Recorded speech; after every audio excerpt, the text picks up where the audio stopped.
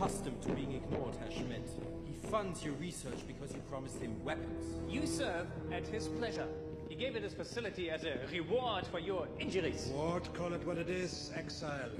I no longer reflect his image of Aryan perfection. You think this is about appearances? Your Hydra division has failed to deliver so much as a rifle in over a year. And we had learned through local intelligence you had mounted a full-scale incursion into Norway.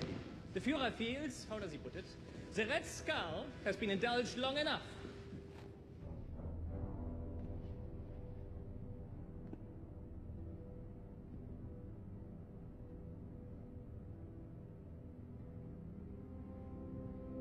Gentlemen, you have come to see the results of our work. Hmm? Let me show you. Hitler speaks of a thousand-year Reich, but he cannot feed his armies for a month. His troops spill their blood across every field in Europe, but still he is no closer to achieving his goals. And I suppose you still aim to win this war through magic? Science, but I understand your confusion. Great power has always baffled primitive men. Hydra is assembling an arsenal to destroy my enemies in one stroke, wherever they are, regardless of how many forces they possess, all in a matter of hours. Your enemies? My weapons contain enough destructive power to decimate every hostile capital on Earth.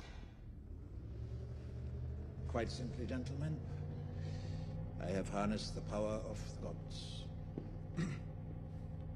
Thank you, Schmidt, For what? for making it clear how obviously mad you are. Berlin is on this map. So it is. You will be punished for your insolence. You will be brought before the Führer himself!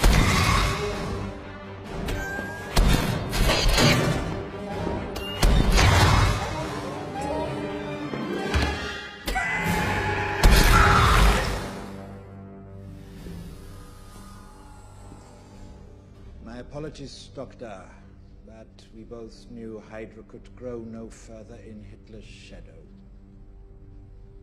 Hail Hydra! Hydra!